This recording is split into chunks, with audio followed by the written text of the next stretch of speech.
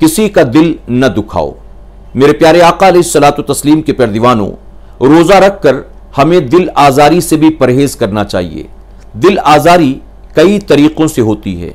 किसी को उल्टे सीधे नामों से पुकारना, किसी का मज़ाक उड़ाना, किसी पर जुमले कसना, किसी के ऐब के साथ उसे मंसूब करना, किसी का कोई सामान इधर उधर रखकर उसे सताना, ये सब दिल आज़ारी की सूरतें हैं।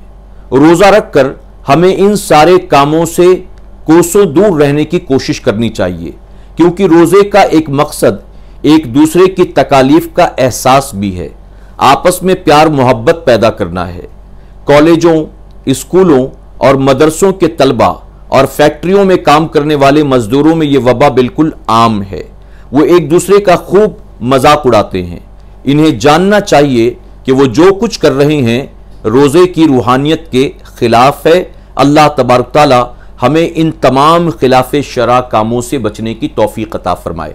मेरे प्यारे आका सलात तस्लीम के पैरदीवानों, ये कितनी प्यारी बातें अमीर सुनिदावत इस्लामी ने अपनी किताब में लिखी हैं कि ज़बान की हिफाजत के साथ साथ एक दूसरे का मज़ाक उड़ाना, एक दूसरे को उसके ऐबों से पुकारना, ए कालिए इधरा ए टिंगू इधरा ए लम्बू किधर जा रहा है, इस तरह की बातें करना ये बिल्कुल जो है सही नहीं है। एक दूसरे को लोगों के सामने जलील करना, उनके ऐब लोगों के सामने ज़ाहिर करना, किसी के सामने अपनी बर्तरी ज़ाहिर करने के लिए उसका मज़ाक उड़ाना, उसको जलील करना, मेरे प्यारे आका के प्यार दीवानों, इससे परहेज करना चाहिए। मैं मर्द हजरात के साथ साथ औरतों से ये गुजारिश करूँगा कि वो इससे बचने की कोशिश करें।